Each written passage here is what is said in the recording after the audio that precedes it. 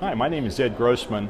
I'm at Mega Conference and just finished a session on revenue recognition, and we had some questions come up that I wanted to bring to your attention.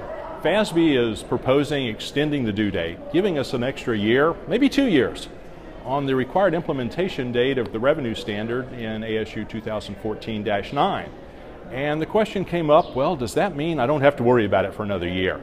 And that is definitely not the answer. There are so many different issues that need to be dealt with, are going to take a long time to deal with, and you need to be working on right now in terms of identifying your contracts, identifying your performance obligations, making the significant judgments on how you're going to recognize revenue, whether your revenue recognition should be constrained, at what point you transfer control and recognize revenue.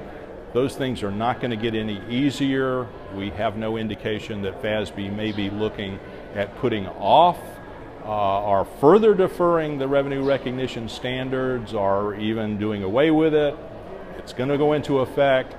Now is better than later. Even with the deferral, you need to deal with revenue recognition. Good luck.